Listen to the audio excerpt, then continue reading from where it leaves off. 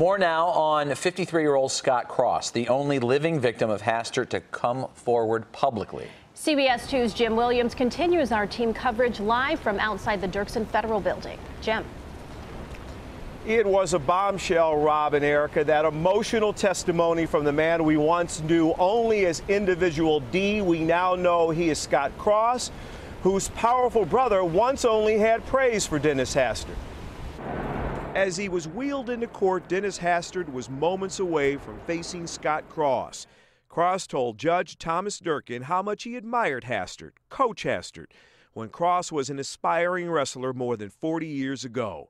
I respected and trusted Coach Hastert, Cross said. But as a 17 year old member of Hastert's wrestling team, Cross said the coach gave him a massage that turned sexual.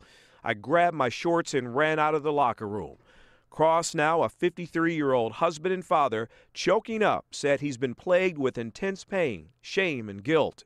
He stood up and spoke the truth of what Mr. Hastert did to him as a boy, how Coach abused him, violated his trust, and, in doing so, permanently scarred him. Back when Hastert became U.S. House Speaker, he was praised by Cross's older brother, then Illinois House Republican leader Tom Cross. I'm very happy for him. I'm proud of him.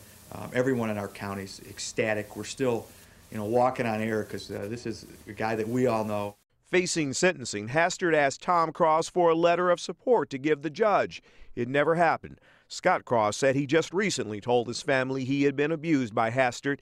In court, Hastert said he could not remember molesting Cross.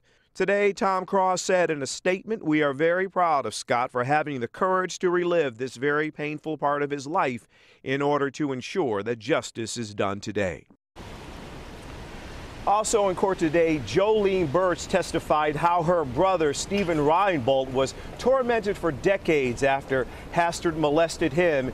He died 21 years ago. Live outside the Dirksen Federal Building, Jim Williams, CBS 2 News. Rob, Erica. Okay, Jim, thank you.